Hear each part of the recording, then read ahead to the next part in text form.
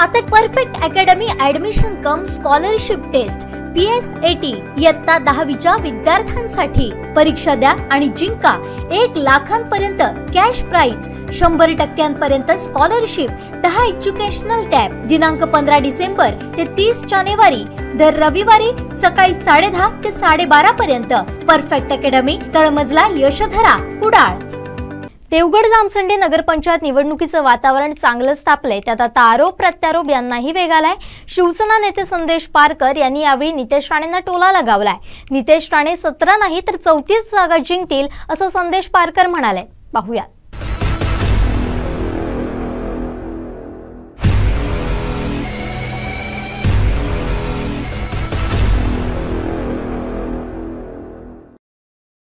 देवगड जामसंडे नगरपंचायती निवडणूक होते. आज उमेदवारी अर्ज दाखल करण्याचा चौथा दिवस होता. उद्या शेवटचा दिवस आहे. आज आजच्या दिवशी शिवसेनेकडून दहा उमेदवारी अर्ज भरण्यात आले होते. माझ्यासोबत आहे शिवसेना पदाधिकारी आहेत. आपण त्यांच्याकडून जाणून घ्या माझ्यासोबत संजयजी पारकर आहेत. आपण जाणून घ्या काय सांगाल नेमकं? काय कशा प्रकारे वातावरण? देवगड नगरपंचायतची निवडणूक होऊ घातली आहे. उद्याचा अर्ज भरण्याचा शेवटचा दिवस जरी असला तरी आज आम्ही त्याच्यामध्ये अर्ज दाखल करण्यामध्ये आघाडी घेतलेली आहे. जवळजवळचे शिवसेनेचे दहा अर्ज हे या निमित्तानं आम्ही दाखल केलेले आहेत.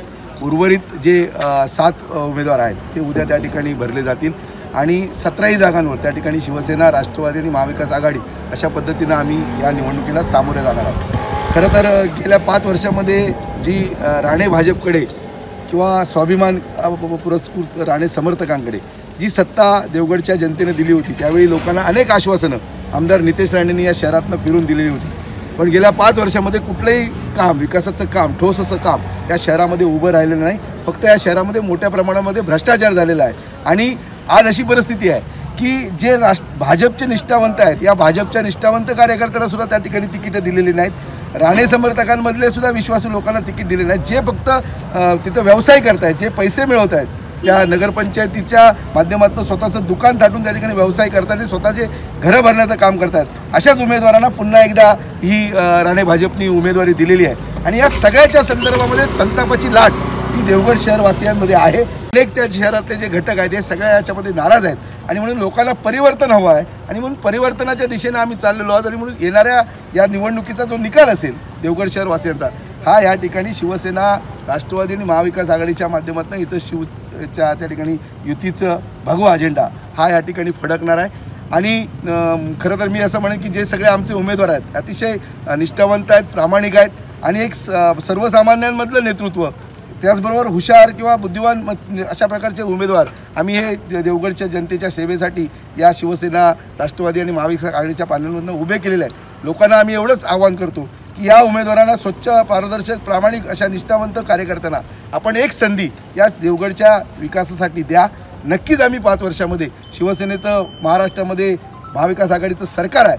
या राज्याचे मुख्यमंत्री आमचे शिवसेना प्रमुख आदरणीय उद्धवजी ठाकरे साहेब आहेत. यांच्या नेतृत्वाखाली आणि महाविकास सरकार आघाडी सरकारच्या माध्यमातून खासदार विनायक राऊत असतील आम- पालकमंत्री उदयजी सामंत असतील आमदार वैभव नाईक असतील माजी पालकमंत्री दीपकभाई केसरकर असतील अरुणभाई दुधवडकर असतील या सगळ्यांच्या नेतृत्वाखाली आम्ही या शहराच्या जनतेला त्या ठिकाणी आवाहन करतोय की आम्हाला एक संधी द्या. आम्ही देवगड शहराचा कायापालट येत्या पाच वर्षात त्या ठिकाणी करणार आहोत. आणि मला विश्वास आहे की ज्या पद्धतीनं या शहरातलं वातावरण आहे लोकांमध्ये आम्ही भेटत असताना किंवा माहिती घेत असताना लोकांनी ह्या सगळ्या सत्ताधाऱ्यांना राणे भाजपला त्या ठिकाणी या शहरातली जनता कंटाळलेली आहे. आणि म्हणून त्या ठिकाणी बदल हा नक्की आहे परिवर्तन आहे आणि या नगरपंचायतीत पुन्हा एकदा शिवसेना राष्ट्रवादी आणि महाविकास आघाडीच्या बाजूनं आहे आणि हे तुम्हाला ज्या दिवशी या मतदान मतदान होईल आणि याचा ज्या दिवशी निकाल होईल त्यावेळी आपल्याला आम्ही शिवसैनिक त्या ठिकाणी गुलाल उजळताना आपल्याला आपण आम्ही दाखवू आणि ह्या जनतेच्या विश्वासावर जनतेच्या आशीर्वा आशीर्वादावर या शहराचा विकासाचा विकासात्मक कायापालट आम्ही नक्की करू.